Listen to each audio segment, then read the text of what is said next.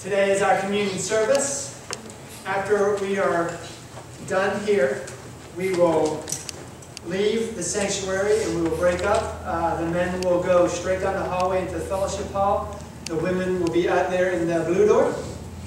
Um, when we come back in, please remember to sit in every other seat so that the deacons have enough room to serve us. Um, turn to Isaiah.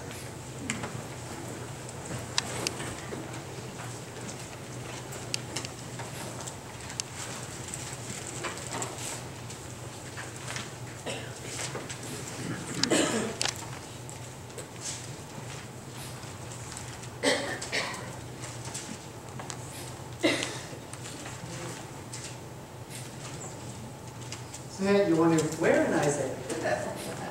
I had it marked and I moved the page mark.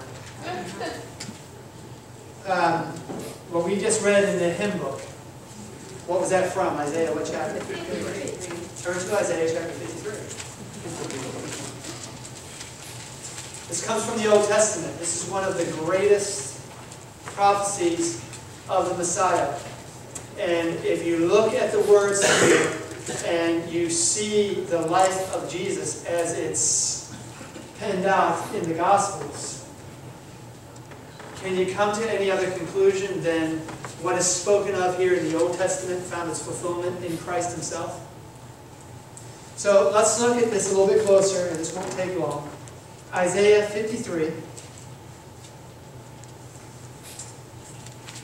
You love the first part. Verse 2 For he shall grow up before him as a tender plant and as a root out of dry ground. He has no form or comeliness that when we see him, there's no beauty that we should desire him. Why do you think that there was no physical beauty there that would attract the attention of a man? Say it loud because you're right. That was not what he was here for. They were to look at his heart. When Jesus came on the scene and when he preached the gospel, that's what the focus was supposed to be on and needed to be on. It was the good news. The message that God has visited man and that God has made a way for man to be redeemed. So that man could be taken from his hopeless estate to now be brought back into a place where God can use him for God's own glory. Now listen, if you were in a Sabbath school class, it was a beautiful Sabbath school class this morning. I want you to think about what God has done for us. I've said this before, but it bears repeating. God, we're told from Scripture, created man higher than the angels or lower than the angels? Do you understand what Christ has done for you in the redemption of mankind? If Adam and Eve never sinned, then throughout eternity, would they be higher than the angels or lower than the angels? Do you realize that Christ, in coming and becoming a part of mankind, and God says it's a what? A gift? And this gift is to last throughout all eternity. When Christ became one of us, He will stay one of us throughout all eternity. Now, I want you to understand what that means. That means if Adam and Eve never sinned, throughout all eternity, they would have had their place. But because they fell, and they fell into sin, and now they went from a little lower than the angels to now being fallen and hopeless and in and of themselves, having no way to escape the slavery of sin that Christ came for you and I, became part of our race, and now lifted us up higher above the angels. Because he tells you in Scripture that you will be co-heirs with Christ. What does that mean? Any ideas? We inherit The inheritance. But co-heirs with Christ throughout all eternity. Christ has raised you and put you in an exalted place higher than what Adam and Eve were before they ever sinned. Do you understand that? Do you grasp that? Do you realize what God has done for you? Listen. We may have an enemy, and we may turn around and do something good for that enemy. But how many of us would actually take that enemy and exalt him to a place higher than what he was before? Because that's what God has done for you and I. Do you understand the depths of our depravity without Christ and the exalted position that we find ourselves in in Christ? Think about that. And it's not just for this short life, it is for all eternity. Which of the angels can say that Christ has become one of us? You will have a testimony to share throughout all the eons of time that angels will love to sit down at your feet and listen to. Because you have an experience with their Creator that they'll never have. You have a depth of a relationship with Jesus Christ that they can only look into. Understand what God has done for you. And let that carry you through the dark trials of this life. As we celebrate communion this morning, we have to grasp and understand what it took for God to reconcile us back to Him. Was it, was it an easy thing for the Father to give up His Son?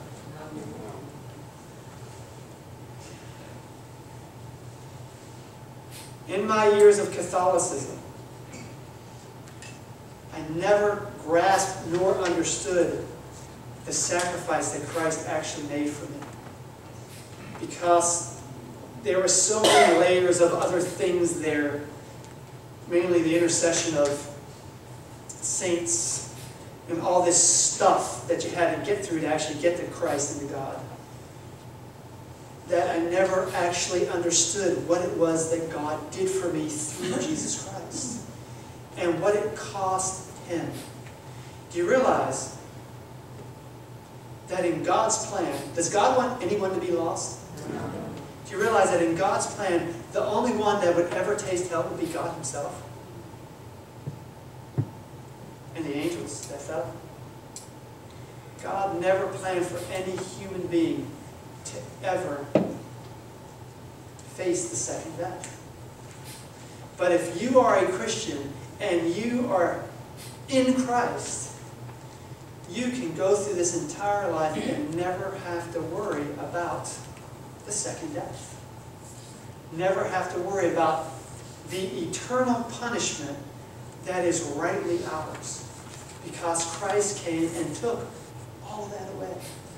And when we eat that little piece of bread and we drink that little cup of wine, it symbolizes what it cost to redeem us.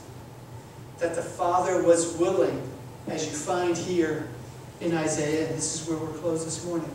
Turn back to Isaiah 53. What did it cost the Father and the Son? Jesus said, I and my Father are what? One. If you have seen me, then you have seen who? The Father. That the Son didn't do anything of his own authority, but what he heard from the Father, that is what he did. So whatever the Son felt, did the Father feel it? Did the Spirit feel it? Were they one? This is where we'll close at. I want you to think about what is uh, written here. Let's look at verse 4.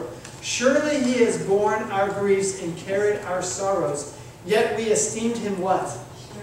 Stricken, smitten by God and afflicted. Verse 5, I love verse 5. But he was wounded for our what? And he was bruised for our iniquities. The chastisement, what does that word chastisement mean? Punishment. Punishment that we deserved was given to him so that the righteousness that we don't deserve is given to us. The chastisement of our peace. I always had a hard time understanding what that meant Because chastisement means beating. Punishment. What's the punishment? The chastisement of our peace. What the, that's a strange way to word that. Why do you think it's worded that way? Because there is a penalty that has to be paid for disobeying God, right? The wages of sin is what? And God was the only one who could make a way to actually take our punishment. How did he do it? By taking it himself. The chastisement of our peace was upon him, and by his stripes we are healed. Now listen, we all like sheep have gone astray, we have turned everyone to his own way, and the Lord has laid upon who? On him, that's Jesus, the iniquity of us. Aren't you glad for that small little word, all? Does it leave anybody out? In Christ, salvation, full and free. And it's open to everyone.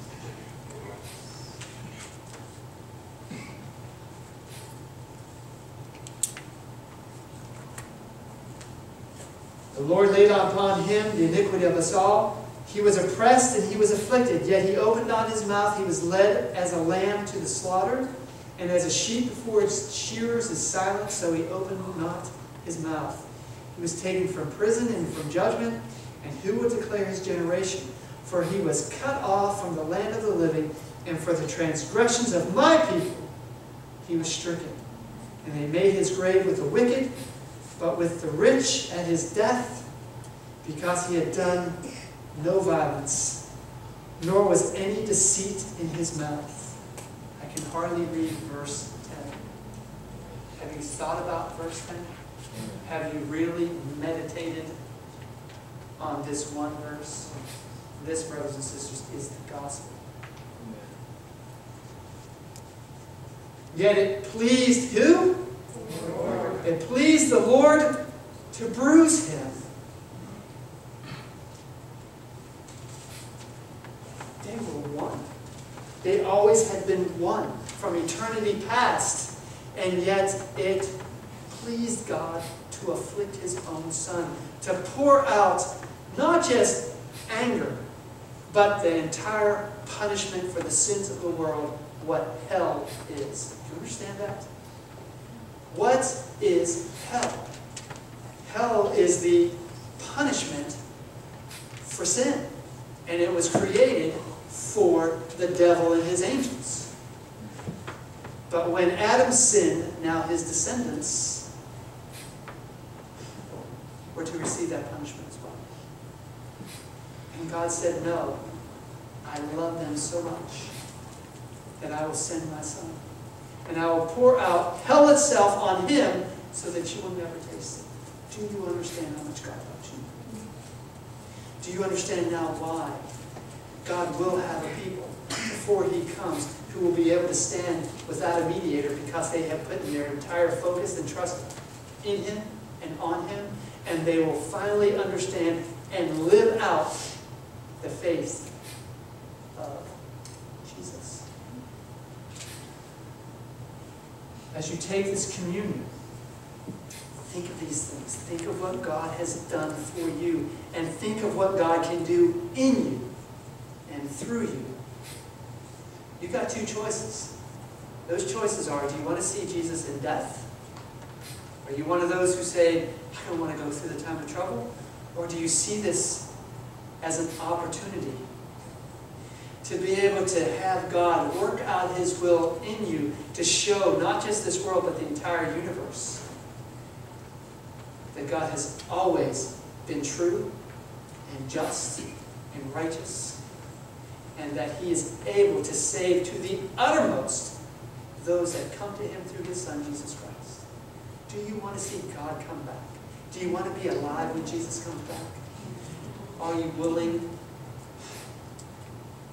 to allow God to allow you to grow into His character so that when He looks down, He says, Yes, I have a people. Yes, I'm ready to come back. When I think about Jesus looking at me, that's what I want him to see. I want to submit to him. As we close this morning and as we leave, again, the men will go into the social hall, the women into the blue door. As we come back, please sit in every other seat so that the deacons can wait upon.